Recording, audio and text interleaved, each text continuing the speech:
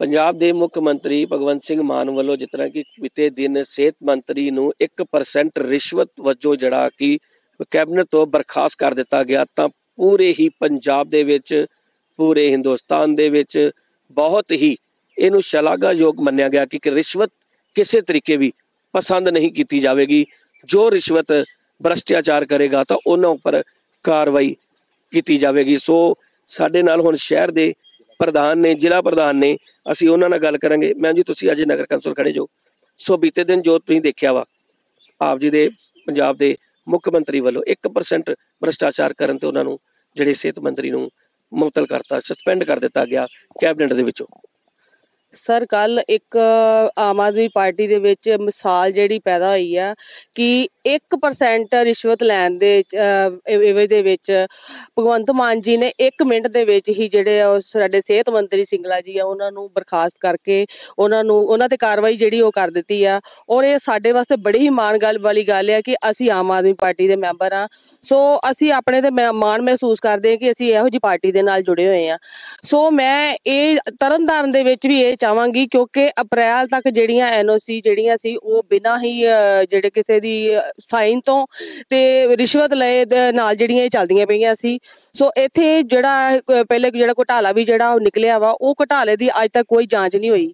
ਸੋ ਮੈਂ ਚਾਹਾਂਗੀ ਕਿ ਇਹ ਜਿਹੜਾ ਘੁਟਾਲਾ ਵਾ ਇਹ ਵੀ ਪਤਾ ਲੱਗੇ ਔਰ ਜੋ ਇੱਥੇ ਜਿਹੜਾ ਕਾਲਾ ਬਾਜ਼ਾਰੀ ਚੱਲਦੀ ਪਈ ਆ ਕਿਉਂਕਿ ਸਾਨੂੰ ਸ਼ਰੇਆਮ ਪਤਾ ਵੀ ਲੱਗ ਰਿਹਾ ਵਾ ਲੇਕਿਨ ਇਹ ਚੀਜ਼ ਨਹੀਂ ਪਤਾ ਲੱਗ ਰਹੀ ਕਿ ਉਹ ਜਿਹੜਾ ਅਨੁਸ਼ਾਸਨ ਆ ਜਿਹੜਾ ਉਹ ਕਿਉਂ ਨਹੀਂ ਇਸ ਚੀਜ਼ ਨੂੰ ਨੱਥ ਪਾ ਰਿਹਾ। ਕਿਉਂਕਿ ਬੜੇ ਵੱਡੇ ਪੱਧਰ ਦੇ ਉੱਤੇ ਜਿਹੜੀ ਚੀਜ਼ ਹੋ ਰਹੀ ਆ ਔਰ ਮੈਂ ਚਾਹਾਂਗੀ ਕਿ ਇਸ ਚੀਜ਼ ਬਾਰੇ ਵੀ ਜ਼ਰੂਰ ਨੋਟਿਸ ਲਿਆ ਜਾਵੇ ਕਿ ਤਰਨਤਾਰਨ ਦੇ ਵਿੱਚ ਵੀ ਲੋਕਾਂ ਨੂੰ ਜਿਹੜੀਆਂ ਸਹੂਲਤਾਂ ਮਿਲ ਸਕਣ। ਇਹ ਜਿਸ ਤਰ੍ਹਾਂ ਤੁਸੀਂ ਦੱਸ ਸਕਦੇ ਹੋ ਕਿ ਐਨਓਸੀਆਂ ਅਪ੍ਰੈਲ ਤੋਂ ਲੈ ਕੇ ਮਈ ਤੱਕ ਨਿਕਲ ਗਈਆਂ ਕੀ ਉਹਨਾਂ ਦਾ ਉਹ ਅਫਸਰ ਤੇ ਹੈਗੇ ਨਹੀਂ ਸੀ ਕਿ ਉਹ ਸੈਨਿਕ ਉਸ ਜਾਲੀ ਕਰ ਦਿੱਤੇ ਗਏ?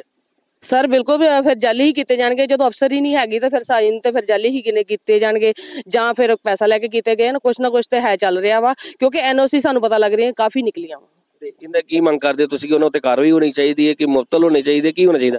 ਸਰ ਬਿਲਕੁਲ ਜੀ ਅ, ਕਾਰਵਾਈ ਹੋਣੀ ਚਾਹੀਦੀ ਆ ਕਿਉਂਕਿ ਜਦੋਂ ਹੁਣ ਪਤਾ ਲੱਗ ਰਿਹਾ ਵਾ ਕਿ ਐਨਓਸੀ ਤੋਂ ਬਿਨਾ ਹੋ ਹੀ ਨਹੀਂ ਸਕਦੇ ਫਿਰ ਪਹਿਲੇ ਕਿਸ ਤਰ੍ਹਾਂ ਹੋ ਗਈ ਆ? ਤੇ ਮੈਂ ਚਾਹਾਂਗੀ ਕਿ ਇਹਦੀ ਇਹਦੀ ਜਾਣਕਾਰੀ ਜਿਹੜੀ ਅ, ਜਿਹੜੀ ਇਨਕੁਆਰੀ ਜਿਹੜੀ ਉਹ ਜ਼ਰੂਰ ਹੋਵੇ।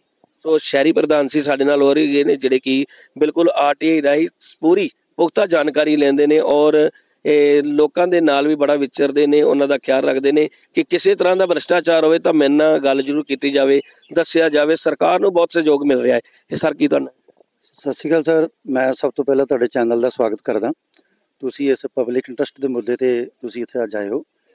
ਮੇਰਾ ਨਾਮ ਸੁਖਦੀਪ ਸਿੰਘ ਹੈ, ਮੈਂ ਪਾਵਰਕਾਮ ਤੋਂ ਰਿਟਾਇਰ ਹਾਂ ਔਰ ਇਸ ਟਾਈਮ ਮੈਂ ਆਰਟੀਆਈ ਐਕਟਿਵਿਸਟ ਹਾਂ।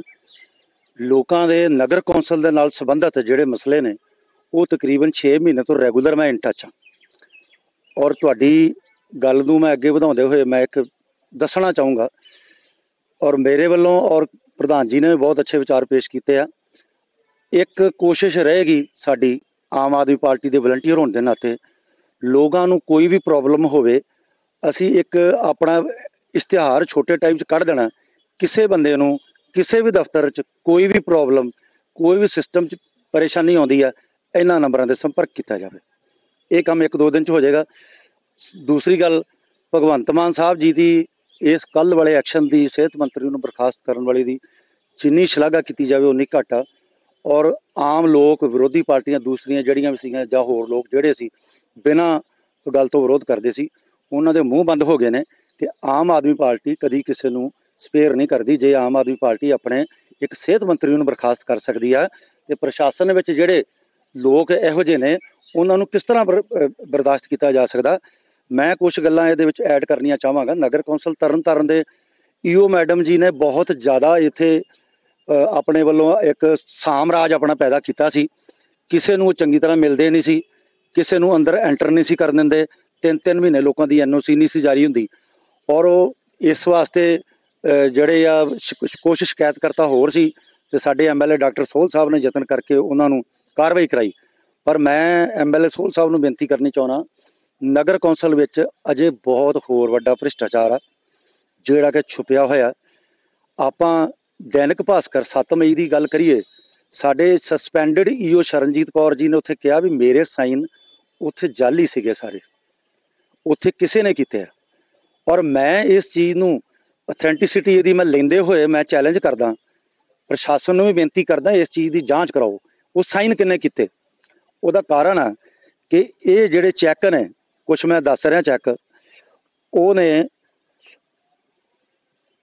70 ਲੱਖ 80 ਲੱਖ 40 ਲੱਖ 32 ਲੱਖ 33598 26 ਲੱਖ, ਇਹ ਸਾਰੇ ਚੈੱਕ ਜਿਹੜੇ ਨੇ, ਇਹ ਈਓ ਮੈਡਮ ਵੱਲੋਂ ਜਾਰੀ ਕੀਤੇ ਗਏ ਨੇ।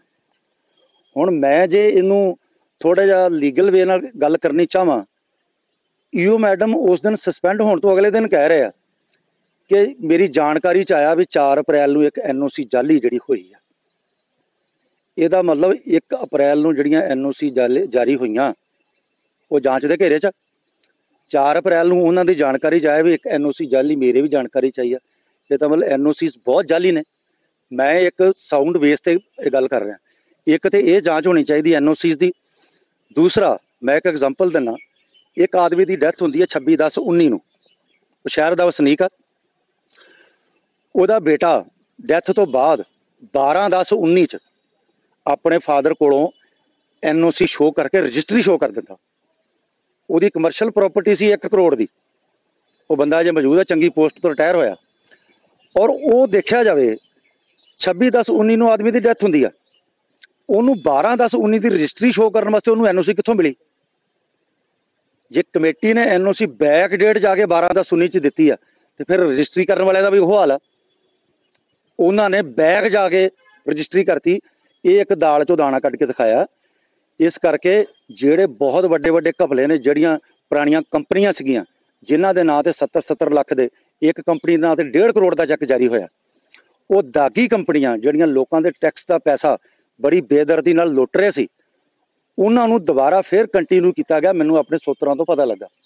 ਮੈਂ ਭਗਵੰਤ ਮਾਨ ਸਾਹਿਬ ਨੂੰ, ਜੋ ਕਿ ਸਥਾਨਕ ਸਰਕਾਰਾਂ ਦੇ ਮੰਤਰੀ ਵੀ ਨੇ, ਔਰ ਤਰਨਤਾਰਨ ਦੇ ਐਮਐਲਏ ਸਾਹਿਬ ਨੂੰ ਬੇਨਤੀ ਕਰਨੀ ਚਾਹੂੰਗਾ, ਦਾਗੀ ਕੰਪਨੀਆਂ ਦੀ ਬਜਾਏ ਜਿਹੜੇ ਪੜ੍ਹੇ ਲਿਖੇ ਨੌਜਵਾਨ ਨੇ, ਜਿਹੜੇ ਹੋਰ ਚੰਗਾ ਕੰਮ ਕਰਨ ਕਰਕੇ ਦੇ ਸਕਦੇ ਆ, ਉਹਨਾਂ ਨੂੰ ਅਗਲੀ ਜਿਹੜੀ ਕੰਟੀਨਿਊਟੀ ਹੈ ਠੇਕਿਆਂ ਦੀ, ਠੇਕਾ ਕਿਸੇ ਕਿਸਮ ਦਾ ਕੋਈ ਵੀ ਹੋਵੇ, ਉਹਨਾਂ ਨੂੰ ਦਿੱਤੇ ਜਾਣ, ਕਿਉਂਕਿ ਉਹ ਕੰਪਨੀਆਂ ਦਾਗੀ ਨੇ। ਪਰ ਇੱਕ ਚੀਜ਼ ਮੈਂ ਜਾਣਨਾ ਚਾਹੁੰਦਾ ਕਿ ਇਸ ਸੰਬੰਧੀ ਕੋਈ ਅਫਸਰ ਆਲਾ ਅਧਿਕਾਰੀ ਨੂੰ ਤੁਸੀਂ ਦੱਸਿਆ ਵਾ ਕਿ ਇੱਥੇ ਆ ਕੁਛ ਹੈਗਾ ਐਨਓਸੀਆਂ ਇਦੋਂ ਦੀਆਂ ਨਿਕਲ ਗਈਆਂ, ਕਿ ਉਹਨਾਂ ਦੀ ਜਾਂਚ ਹੋਣੀ ਚਾਹੀਦੀ ਹੈ। ਸਰ ਮੈਂ ਇਹਦੇ 'ਚ ਬੇਨਤੀ ਕਰਨੀ ਚਾਹੁੰਦਾ, ਮੈਂ ਸਪਸ਼ਟ ਦੱਸ ਦੇਣਾ ਐਸਡੀਐਮ ਸਾਹਿਬ ਨੂੰ ਮੈਂ ਰਿਟਨ ਲੈਟਰ ਲਿਖ ਕੇ ਈਮੇਲ ਕੀਤੀ।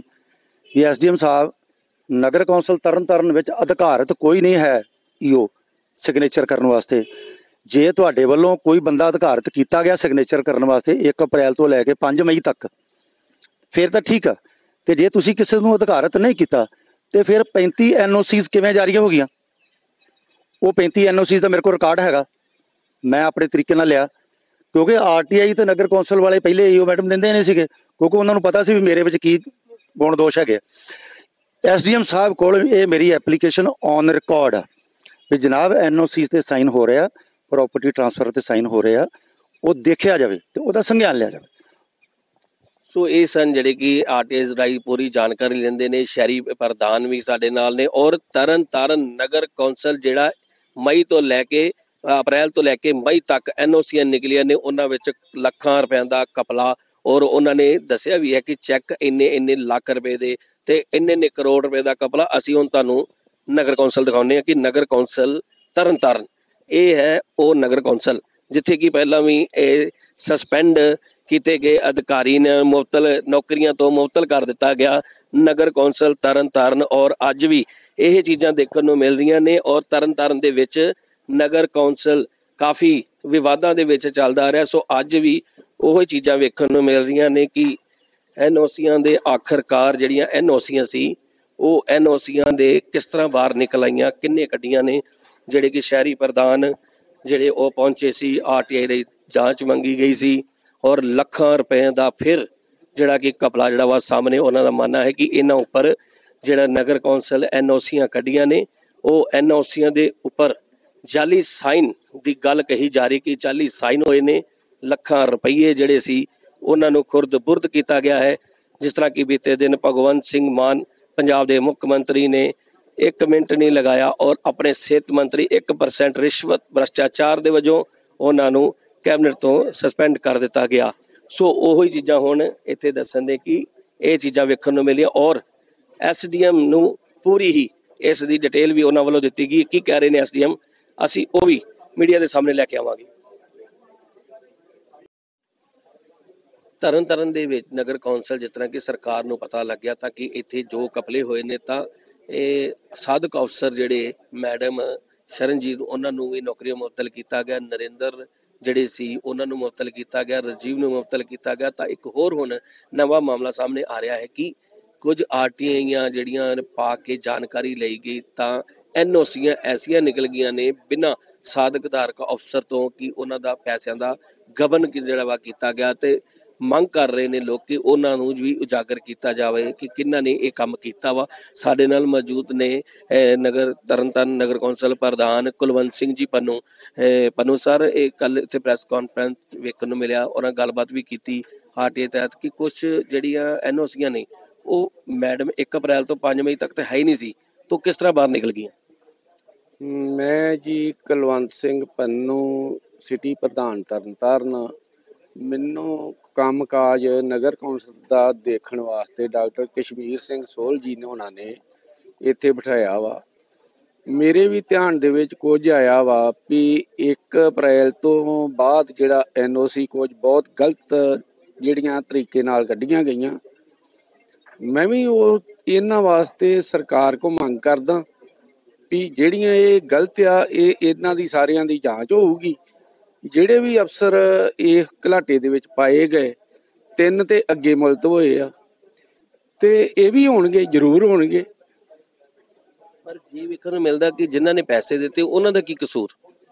ਵੇਖੋ ਜਿਨ੍ਹਾਂ ਨੇ ਪੈਸੇ ਦਿੱਤੇ ਆ ਕਸੂਰਦਾਰ ਤੇ ਉਹ ਹੀ ਹੈਗੇ ਆ ਜਦੋਂ ਮਾਨ ਸਾਹਿਬ ਹੋਣਾ ਦਾ ਉੱਤੋਂ ਸਖਤ ਹਦਾਇਤਾਂ ਵੀ ਪੈਸਾ ਕਿਸੇ ਨੂੰ ਨਹੀਂ ਦੇਣਾ। ਅਸੀਂ ਵੀ ਸਾਰਿਆਂ ਨੂੰ ਅਪੀਲ ਕਰਦੇ ਹਾਂ ਵੀ ਪੈਸਾ ਤੁਸੀਂ ਕਿਸੇ ਨੂੰ ਦੇ ਕੇ ਕੰਮ ਨਹੀਂ ਕਰਾਉਣਾ ਕੋਈ ਵੀ ਜਾਲੀ। ਤੁਹਾਡੇ ਕੰਮ ਸਾਰੇ ਹੋਣਗੇ। ਫੇਰ ਵੀ ਜਿਹੜੇ ਲੋਕ ਦਿੰਦੇ ਆ ਉਹ ਵੀ ਤੇ ਕਸੂਰਵਾਰ ਉਨੇ ਹੀ ਆ। ਤੇ ਜਿਹੜੇ ਲੈਂਦੇ ਆ ਉਹ ਤੇ ਫਿਰ ਬਹੁਤ ਜ਼ਿਆਦੇ ਆ। ਸੋ ਜਿਸ ਤਰ੍ਹਾਂ ਇਹਨਾਂ ਨੂੰ ਤਿੰਨਾਂ ਨੂੰ ਮੁਅੱਤਲ ਕੀਤਾ ਗਿਆ ਤੇ ਜੇ ਅਗਰ ਇਹ ਵੀ ਪਾਏ ਜਾਂਦੇ ਨੇ ਤਾਂ ਇਹ ਵੀ ਨੌਕਰੀ ਫਿਰ ਮੁਅੱਤਲ ਕਰ ਦਿੱਤੇ ਜਾਣਗੇ। ਬਿਲਕੁਲ ਜੀ ਜੇ ਇਹ ਗਲਤ ਬੰਦੇ ਪਾਏ ਗਏ ਕੋਈ ਸਾਡਾ ਅਫਸਰ ਉਹਨਾਂ ਨੂੰ ਨੌਕਰੀ ਤੋਂ ਬਰਖਾਸਤ ਉਸੇ ਵੇਲੇ ਕੀਤਾ ਜਾਊਗਾ। ਸੋਈ ਸਨ ਕੁਲਵੰਤ ਸਿੰਘ ਪੰਨੂ, ਜਿਨ੍ਹਾਂ ਨੇ ਦੱਸਿਆ ਹੈ ਕਿ ਆਰਟੀਆਈ ਦੇ ਤਹਿਤ ਜਿਸ ਤਰ੍ਹਾਂ ਲੋਕਾਂ ਨੇ ਵੀ ਜਾਣਕਾਰੀ ਮੰਗੀ ਆ ਔਰ ਉਹਨਾਂ ਦਾ ਮੰਨਣਾ ਹੈ ਕਿ ਅਗਰ ਕਿਸੇ ਨੇ ਵੀ ਨਗਰ ਕੌਂਸਲ ਦੇ ਵਿੱਚ ਜਿਹੜੀਆਂ ਐਨਓਸੀਆਂ ਨੂੰ ਜਾਲੀ ਅਗਰ ਸਾਈਨ ਕਰਕੇ ਉਹਨਾਂ ਨੂੰ ਦਿੱਤੀਆਂ ਨੇ ਗੁਨੇਗਾਰ, ਉਹ ਵੀ ਜਿਨੇ ਜਾਲੀ ਸਾਈਨ ਕਰਕੇ ਲੈ ਲਈ, ਜਿਨ੍ਹਾਂ ਨੇ ਕੀਤੇ ਉਹ ਵੀ, ਔਰ ਜਿਸ ਤਰ੍ਹਾਂ ਤਿੰਨ ਅੱਗੇ ਮੁਅੱਤਲ ਕੀਤੇ ਗਏ ਨੇ, ਅਗਰ ਇਹ ਵੀ ਪਾਏ ਜਾਂਦੇ, ਜਿਨ੍ਹਾਂ ਨੇ ਐਨਓਸੀਆਂ ਨੂੰ ਬਿਨਾਂ ਅਫਸਰਾਂ ਤੋਂ ਜਾਂਚ ਤੋਂ ਸਰਕਾਰ ਤੋਂ ਬਗੈਰ ਲੋਕਾਂ ਨੂੰ ਦਿੱਤੀਆਂ ਨੇ। ਸੋ ਨਗਰ ਕੌਂਸਲ ਤਰਨਤਾਰਨ ਆਏ ਦਿਨ ਹੀ ਵਿਵਾਦਾਂ ਵਿੱਚ ਘੇਰਿਆ ਵਿੱਚ ਰਹਿੰਦਾ ਹੈ ਔਰ ਜੋ ਕਿ ਮਾਨ ਸਾਹਿਬ ਦੀ ਸਰਕਾਰ ਹੈ ਤਾਂ ਮਾਨ ਸਾਹਿਬ ਦਾ ਸਰਕਾਰ ਦਾ ਮਤਲਬ ਇਹ ਹੈ ਕਿ ਭ੍ਰਸ਼ਟਾਚਾਰ ਬਿਲਕੁਲ ਨਹੀਂ ਹੋਵੇਗਾ। ਜਿਸ ਤਰ੍ਹਾਂ ਵੇਖਣ ਨੂੰ ਮਿਲਿਆ ਕਿ ਇੱਕ ਮੰਤਰੀ ਸੀ, ਜੋ ਸਿਹਤ ਮੰਤਰੀ ਸੀ, ਉਹਨਾਂ ਨੂੰ 1% ਭ੍ਰਸ਼ਟਾਚਾਰ ਕਰਨ ਤੇ ਹੀ ਉਹਨਾਂ ਨੇ ਉਹ ਆਪਣੇ ਅਹੁਦੇ ਤੋਂ ਉਹਨਾਂ ਨੂੰ ਬਰਖਾਸਤ ਕਰ ਦਿੱਤਾ ਤੇ ਕਾਰਵਾਈ ਵੀ ਕੀਤੀ। ਹੁਣ ਦੇਖਣਾ ਹੋਏਗਾ ਕਿ ਤਰਨਤਾਰਨ ਨਗਰ ਕੌਂਸਲ ਵਿੱਚ ਜੋ ਕਪਲੇ ਸਾਹਮਣੇ ਆ ਰਹੇ ਨੇ, ਉਹਨਾਂ ਦੀ ਜਾਂਚ ਦਾ ਕਿਦੋਂ ਤੱਕ ਹੁੰਦੀ ਤੇ ਕੀ ਕਾਰਵਾਈ ਹੁੰਦੀ ਹੈ? ਵਿਜੇ ਕੁਮਾਰ ਜਗਬਾਨੀ ਟੀਵੀ। ਦੇਸ਼ ਦੁਨੀਆ ਦੀ ਹਰ ਵੱਡੀ ਖਬਰ ਨਾਲ ਜੁੜੇ ਰਹਿਣ ਲਈ ਸਾਡੇ YouTube ਚੈਨਲ ਨੂੰ ਸਬਸਕ੍ਰਾਈਬ ਕਰੋ। ਨਾਲ ਦੀ ਨਾਲ ਹਰ ਨਵੀਂ ਵੀਡੀਓ ਦੀ ਨੋਟੀਫਿਕੇਸ਼ਨ ਲਈ ਬੈਲ ਆਈਕਨ ਜ਼ਰੂਰ ਦਬਾਓ। ਜੇਕਰ ਤੁਸੀਂ ਇਹ ਵੀਡੀਓ Facebook ਤੇ ਦੇਖ ਰਹੇ ਹੋ ਤਾਂ ਇਸ ਨੂੰ ਲਾਈਕ ਜ਼ਰੂਰ ਕਰੋ ਔਰ ਜ਼ਿਆਦਾ ਤੋਂ ਜ਼ਿਆਦਾ ਸ਼ੇਅਰ ਵੀ ਕਰੋ। ਧੰਨਵਾਦ।